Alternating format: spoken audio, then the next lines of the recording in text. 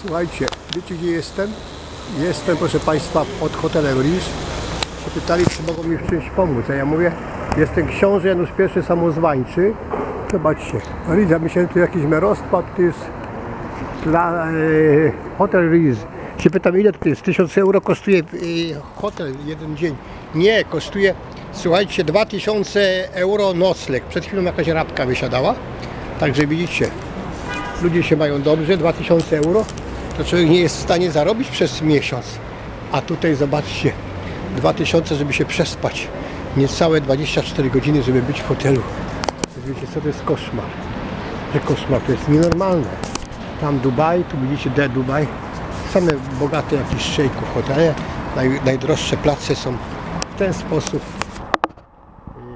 y, zajęte, wykupione przez arystokrację, która rządzi tym światem tajnie za plecami prezydentów, premierów, dyktatorów Bułgarii.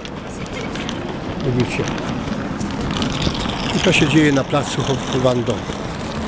A tam rozmawiałem z tym gościem, którzy tam stoją. Zobaczcie. Widzicie. Porozmawiałem, powiedziałem, że byłem na wojnie w Donbasie, o z tym gościem rozmawiałem.